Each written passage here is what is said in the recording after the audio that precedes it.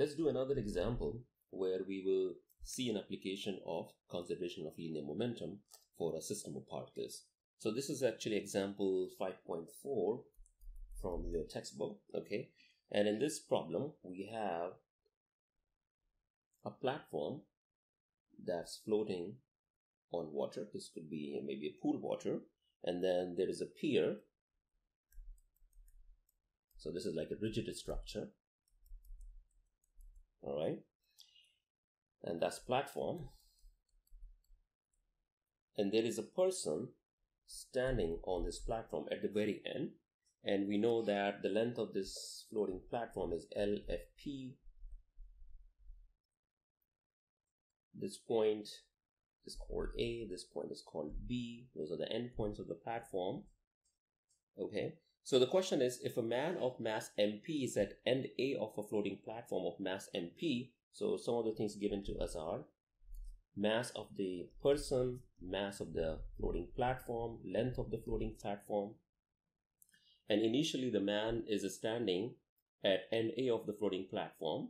The man and the platform are initially at rest. So initial velocity, so let's call it, maybe initial would be 1. We'll say initial is indicated by 1. So VP1 as well as VFP1 are 0. So velocity of the person initially and velocity of the floating platform initially are 0. The platform is touching the pier when the man starts moving towards B with a constant speed V0 relative to the platform. So initially the person is stationary and then the person begins to move with a velocity V0 relative, that's important, relative to the platform. So V0 is not the absolute velocity. So when we say relative to the platform, that means that's the velocity as somebody would measure when when that somebody is actually standing on the floating platform. Okay, if it said it this was the absolute velocity or simply just the velocity without any qualifier in front of it, then that would be the velocity as measured by you know somebody standing on the stationary ground, right? Those are the two different velocities. So this is the velocity related to the platform. Okay, then the question is determine the distance between the platform and the pier when the man reaches the other end of the platform at B. So the person begins to walk from A, goes to the point B. By the time A gets to the B, the question is by how much distance the floating platform would have moved away from the pier, right? And you know this, if you have done something like this while you're swimming or when you're playing in, in the in the water, uh, you have probably experienced this. That as if you're standing on something that allowed you to float, and you started to move to the other end, the, the floating platform would have to move as well away from the pier. So the question is how much it has moved by, right? So problems like these where you have multiple particles and there is relative motion, you can try to use conservation of linear momentum, but you know that conservation of linear momentum can be applied only if on the system external forces are zero, right? So if the sum of the external forces on the system uh, is zero, then we can apply conservation of linear momentum. So to answer this question, we would have to draw a free body diagram, right? So in this case, we'll draw a free body diagram of the system. So system over here is person plus platform, right? So we have to identify what our system is. So let's draw the free body diagram.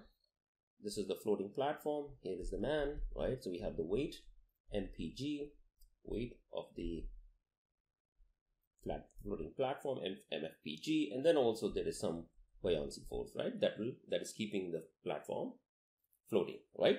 Those are the only forces acting on the system we are neglecting the friction forces between the platform and the water over here.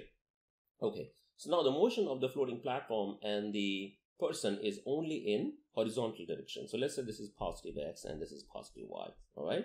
There's no motion along x. There's no force. There are no forces along x direction. Okay. The only forces that are acting are in the vertical direction which of course have to be balanced, assuming assuming that we will neglect the you know vertical direction motion. Of course, the platform is going to float, so it's going to move up and down a little bit, but we'll neglect that motion compared to the horizontal direction motion, and we will say that the forces in the vertical direction will just balance each other out. There are no force in the x direction, which means that along x direction, where the motions are constrained to be in, there are no external forces. So sigma f external uh, is equal to we have uh, FB minus MFP, G minus MPG, and that's along j direction plus 0 i hat, right? And this is equal to delta p over delta t, delta t, right? So delta p is basically nothing but change in linear momentum, right? So we can see that along the vertical direction there is no linear momentum. So this is basically delta px over delta t only, right? Which means that this should be equal to 0 and delta px over delta t would be also equal to 0 because x direction there is no force. So which means that delta px is 0 and since this is for a system we can write this is sigma delta px equal to 0. So initial momentum let's write as sigma pi is equal to sigma pf. Initial momentum is 0. Why? Because initial momentum of the system is mass of the person times initial velocity which is 0 plus mass of the floating platform times initial velocity of the floating platform, which is also zero. So initial linear momentum is zero, and the final linear momentum should also be zero, right? Okay, so what is the final linear momentum? Final linear momentum is the mass of the person times the velocity of the person. Now remember, this whole formulation is obtained from Newton's second law, which is applicable only in a Newtonian or inertial reference frame, which means that everything has to be measured in that frame. So if you're measuring acceleration, they have to be with respect to an inertial frame. If you're measuring velocity, they have to be with, measured with respect to an inertial frame as well. So what is the velocity of the person with respect to a stationary observer which can serve as an inertial frame? That would be the velocity of the floating platform plus the velocity of A, right? We know the relative velocity equation for translating frames. Velocity of A is equal to velocity of B plus velocity of A with respect to B. So we are looking for velocity of the person. So velocity of the P is equal to velocity of the floating platform plus velocity of the person with respect to the floating platform. Okay, so velocity of the floating platform is let's say VFP, all right, and that's towards positive x direction. So that's I hat plus velocity of the person with respect to the uh, floating platform, right? So velocity of the person with the floating platform is v0, so that's actually v0 i hat. So this is vfp plus v0 i hat, right? So let's write that.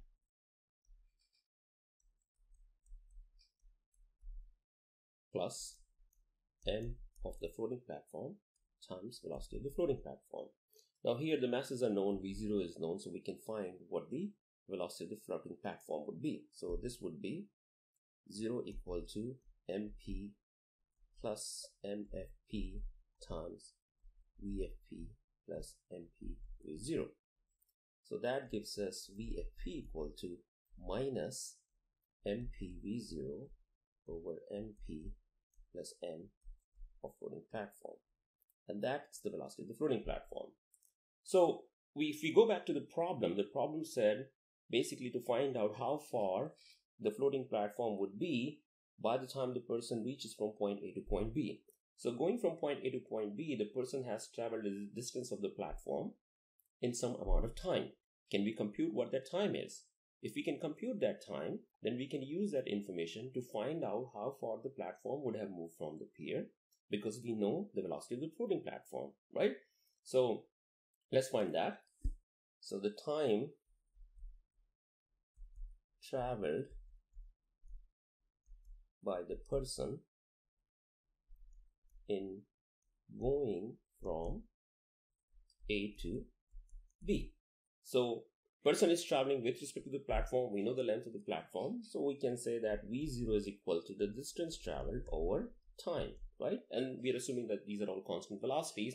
So which means that we can use simple relationships over here, right? These are constant velocity, zero acceleration uh, expressions. So this gives us delta T as LFP over V0. Okay. Now, as far as the floating platform is concerned, we know that the velocity of the floating platform would be equal to the distance traveled by the floating platform over the time, which is same as what we have over here because the time that the person travels from A to B is the time in which floating platform moves away from the pier. So we can get delta x equal to VFP times delta t.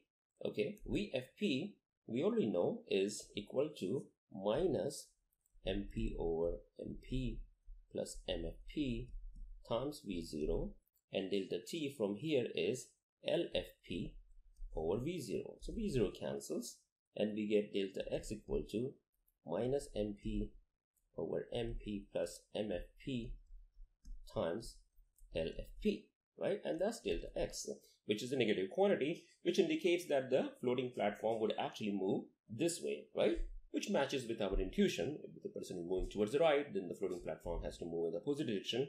And we have what we have chosen our positive x direction to be towards the right, right? So negative negative number means it's actually the other side. Now, this is the answer to the question, right? But let's look at this answer and try to gain some intuition out of it.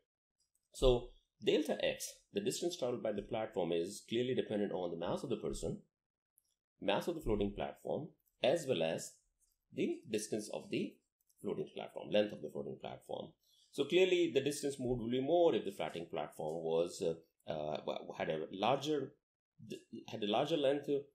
At the same time, you will see that there is no v0 over here, right? So if I want to turn this into a conceptual question, I might ask, uh, here is a scenario where I have a person and a floating platform. Tell me if let's say there were two people standing on two identical platforms like this, and one of them was running faster, the other one was running slower, in which situation, in what case, the floating platform would move away from the pier more or less or equal, right? Now, if you do this analysis, you can actually answer that conceptual question because you can clearly see there is no dependence on the velocity of the person with respect to the platform. So there is a person A who's running at a higher speed than another person B, it's not going to make any difference. The distance floating platform would move away from the pier would be exactly same, right? Okay. I could also phrase this question in a different way. I could say, tell me if the floating platform would move away from the pier if the person A was heavier than the person B. Okay, so now you can see over here that the dependence is there on the mass of the person. So since we have MP on in both numerator and denominator, what I can do is I can write this as 1 over 1 plus MFP over MP, right? Okay, so if MP is larger, right? If MP is larger, this quantity would be smaller. If this quantity is smaller, then this whole quantity, the denominator would be less, right? This quantity is less, that means that the delta x would be larger. So now you can make an argument what happens when the person is heavier. So clearly there is a dependence. You can see that. Similarly, I could also ask, uh, you know, the difference between the distance traveled by the floating platform based on the masses of the platform, right? So just from this one simple question, if I wanted, I could generate quite a few based on the input information given in this problem.